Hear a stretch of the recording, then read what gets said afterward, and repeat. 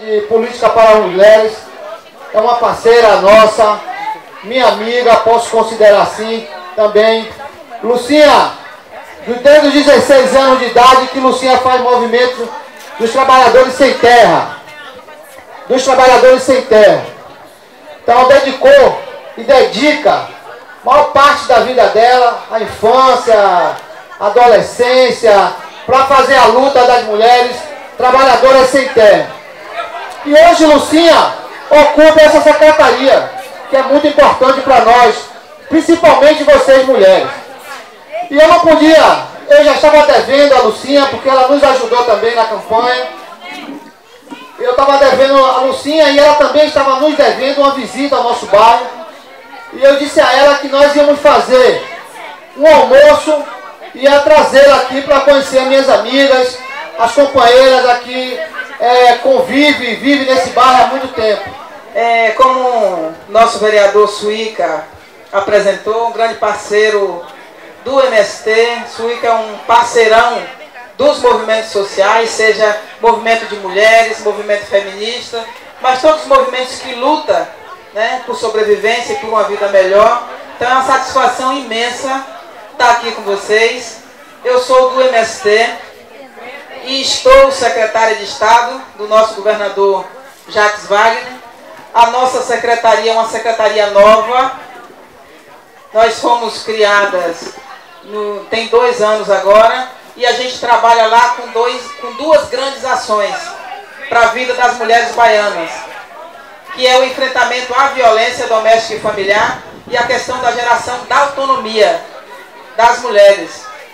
Porque a gente sabe que a gente vive num ciclo de violência. E para além do Estado criar equipamentos e serviços, que criar centros de referência, criar delegacias especializadas, criar casas-abrigo, a gente precisa fazer com que as mulheres tenham autonomia econômica, dinheiro no bolso, casa própria, porque para facilitar a nossa vida, para nos ajudar a sair desse ciclo de violência. E é nesse intuito que trabalha a nossa presidenta Dilma por isso, a Minha Casa Minha Vida, as casas são entregues em nome das mulheres e diversos outros programas do nosso governo, a gente vem potencializando as mulheres nessa construção da autonomia, porque só com a nossa autonomia é que a gente de fato vai ser dona das nossas próprias vidas, dona dos nossos próprios destinos. Então, nosso governador Jacques Wagner também nos determinou internamente na Secretaria de Política para as Mulheres que a gente trabalhasse fortalecendo essas duas linhas, da violência, do enfrentamento à violência e da geração da autonomia.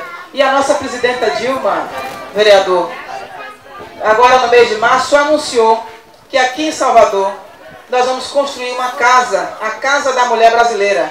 E a nossa capital, aqui, será a primeira capital a ser construída essa Casa da Mulher Brasileira. Que lá vai ter a delegacia especializada, vai ter o centro de referência e vai ter os diversos programas do governo federal e do governo estadual, onde as mulheres que passar por essa casa será orientada e sairá de lá encaminhada, já nesse, nesse intuito da geração da autonomia. Então foi uma das grandes conquistas e nós vamos ser a capital primeira onde a presidenta vai construir essa casa e vai anunciar. Então isso é, é fruto da luta não só da batalha interna do nosso governo de Estado, mas é fruto da batalha e luta dos movimentos feministas e dos movimentos, e dos movimentos de mulheres.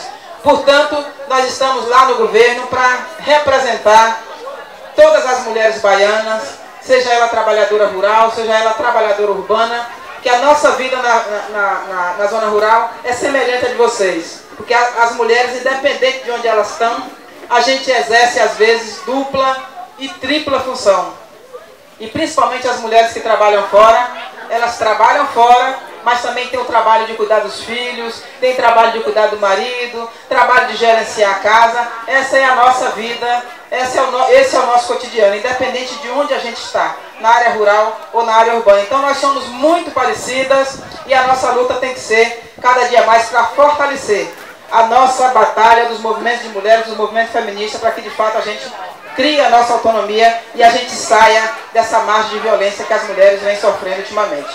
Então, muito obrigado. A gente vai estar aqui com vocês durante o almoço. E se tiver alguma coisa mais, a gente vai conversando paralelamente.